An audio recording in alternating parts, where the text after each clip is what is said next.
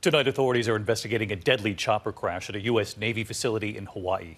Four civilians were killed when their Sikorsky helicopter went down during a training operation in Kauai. The victims working for a defense contractor. The investigation underway tonight. Hi, everyone. George Stephanopoulos here. Thanks for checking out the ABC News YouTube channel. If you'd like to get more videos, show highlights, and watch live event coverage, click on the right over here to subscribe to our channel. And don't forget to download the ABC News app for breaking news alerts. Thanks for watching.